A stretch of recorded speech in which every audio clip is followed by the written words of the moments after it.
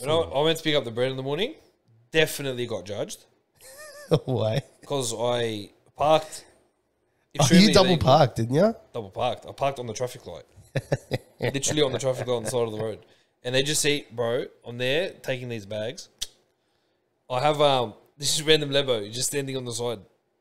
He sees me holding the bags. He goes, "Oh, um, I go, I go, oh mate, I go, can you just open my boot?" But in Arabic, I go, "Ftah.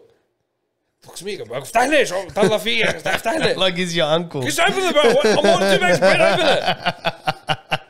But I felt like a seven year old leber illegally parking to pick up a manoosh. Exactly how I felt, except I was putting 500 loaves of bread in my car. Manoosh. Have you seen these prices? Yep. Bro, what is happening? Skyrocketed. Three bucks for a za'atar, Yep. eight bucks for a lahmajin, seven bucks for a cheese. Mm. What is happening? Yeah. I could not believe my mind. Take me back to the days where there were, Four dollars fifty for a lahmajin, yeah, and bro. a, and a dollar for Za'atar. what is happening, Yeah, bro, it's disgusting. bro? and Now, I thought, and I thought that initially it was just in like certain Sutherland areas, and, yeah, and yeah, all those other areas. Nope, nope. bro.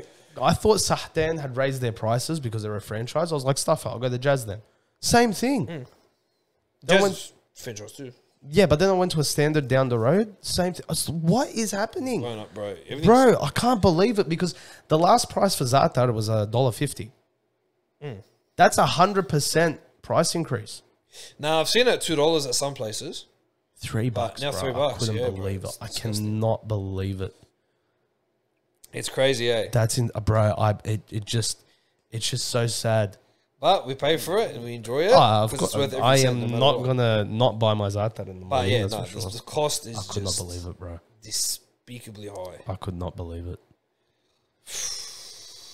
No, but literally, I just remember the days, you know, I used to catch a train and then I'd go get a dollar Za'atar and It used to be that. Just, yeah, it still is. It's great. it's the best. there's But you know, everything like is just, up a lahmacun everything is just skyrocketed. I can't believe it, bro. Yeah, eight bucks. I got an email from work the other day saying you're going to get your CLA increase, CPI, whatever it's called. Your, Oh, yeah. your incremental increase. I was like, yeah, we better be getting it with this price of Za'atar right now. Yeah, bro. I need it. That's my main concern. Like, lucky, bro. lucky, lucky, my mom has a Za'atar fridge at home, so Oh, I, have to. I have unlimited Za'atar. Yeah.